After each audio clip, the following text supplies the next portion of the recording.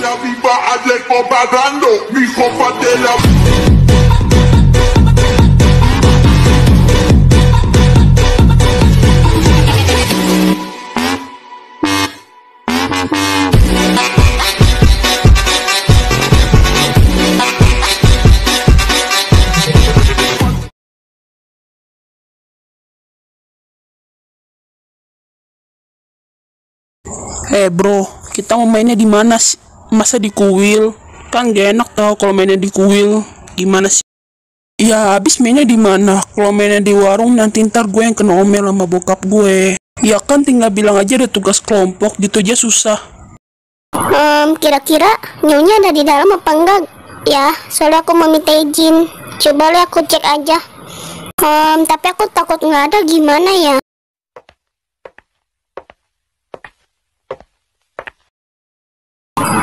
Maaf Pak, Nyonya Bella di mana ya Pak?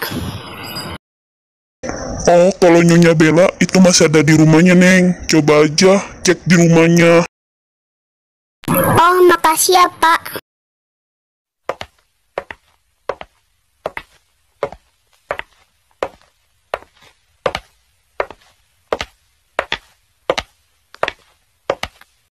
Apa bener ini rumahnya Nyonya Bella?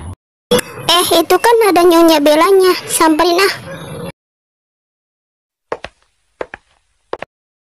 Nyonya, maaf, saya boleh izin Nyonya untuk tidak kerja karena orang tua saya sakit. Nyonya, boleh ya saya izin bentar? Saya nggak lama-lama kok, Nyonya. Oh iya, orang tuamu sakit apa, Kenza? Tentu saya izinkan kamu. Sebenarnya yang sakit itu mama saya tante, tapi saya minta izin ya tante. Terima kasih atas izinnya, tapi saya nggak tahu sakit apa. Iya sama-sama.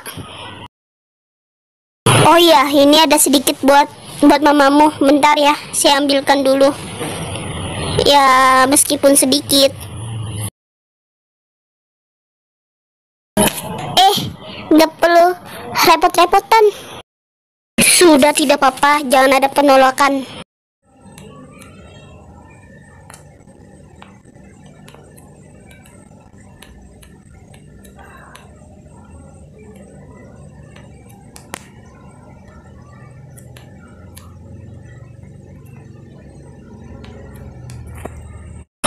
Faro anakku, tolong ambil tas yang ada di kamar mami ya. Itu isinya sangatlah penting. Cepat, jangan pakai lama. Ini perintah mami. Dengar gak? Iya mamiku.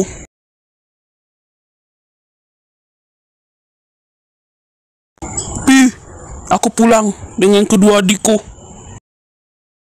Tumben kamu jemput adik-adikmu, Faro. Mimi, tasnya. Aku, aku kasih ke siapa ya? Mi, Kasih ke Nakwenza nak. Cepat nak. Nakwenza pengen pulang kampung. Cepat kasih. woi cewek, ini ambil di tas lu. Cepetan. Iya, sabar apa? Ya udah nih. Oh iya, tante makasih ya. Aku pulang dulu.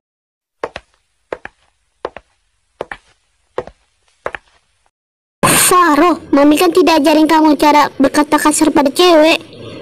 Huh.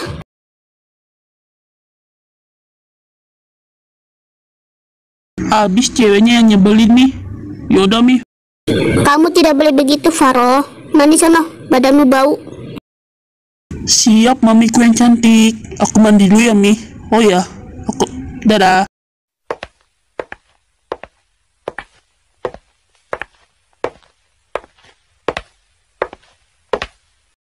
Hey, by the way, gue ganteng juga ya. Ya iyalah jelas. Faro gitu loh, gantengnya dari lahir. Wah, bisa aja. By the way, emang sih aku ganteng. Oh iya, siapa sih ternyata itu cewek? Namanya Quenza. Seperti kayak aku kenal. Quenza. Apa jangan-jangan Quenza teman masa kecilku?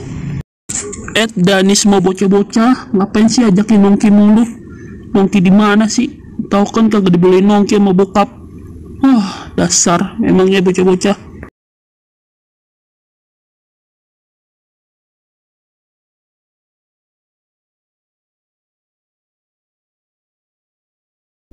bersih-bersih kamar dulu. Memangnya tugas jadi seorang ibu susah banget. Ya udah kita bersih-bersih kamar.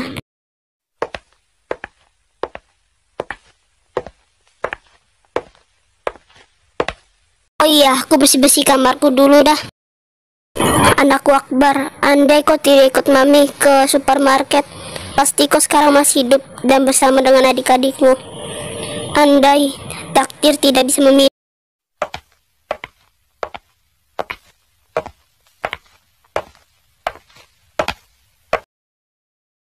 Mi, Mami sedang apa itu? Kok Mami kok melihat foto Akbar? Apa apa Mami kangen dengan Akbar? Sudahlah Mi, ikhlaskan Akbar. Akbar sudah tenang sekarang. Mi, Mi, Iya, Pi. Mami sangat kangen. Andai waktu itu Akbar tidak ikut Mami, pasti sekarang Akbar hidup bersama adik-adiknya.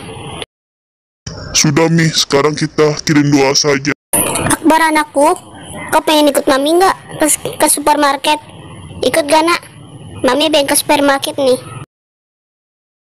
Iya mah Akbar pengen ikut, tapi Akbar mau main dulu ya. Ikut mami atau mau main ya? Ikut mami aja deh, lagi pula kan kita bisa jajan kalau ke supermarket. Akbar anakku, kau tetap di sini ya. Jangan ke mana-mana. Ingat, Mama cuma mau belanja doang. Siap mami, laksanakan.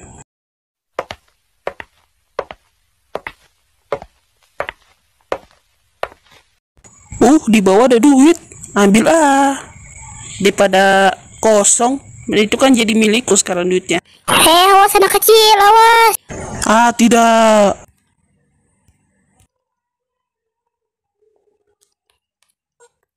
Itu ada apa ya orang-orang? Kok pada kumpul? Cobalah aku cek saja. Perasaanku tidak enak. Akbar anakku, bangun. Kau tidak boleh tinggalkan mami nak. Nak, bangun. Jangan tinggalkan mami. Bangun anakku. Maafkan mami. Mami menyesal. Bangun. Ih, sekarang mami menyesal. Kenapa mami mengajak Akbar waktu ke supermarket? Sekarang mami menyesal, Vi. Ini semua kesalahan mami. Mami tidak bisa memaafkan diri mami sendiri. sudah lebih Kita ikhlaskan anak baru Kita doakan saja Dan meminjam itu anak-anak yang lain Tapi tidak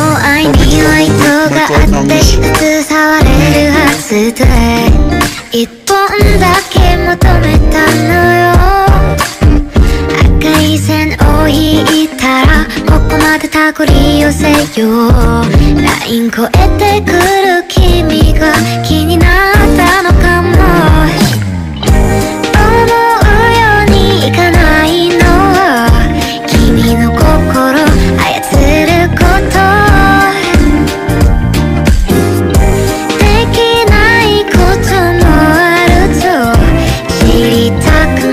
더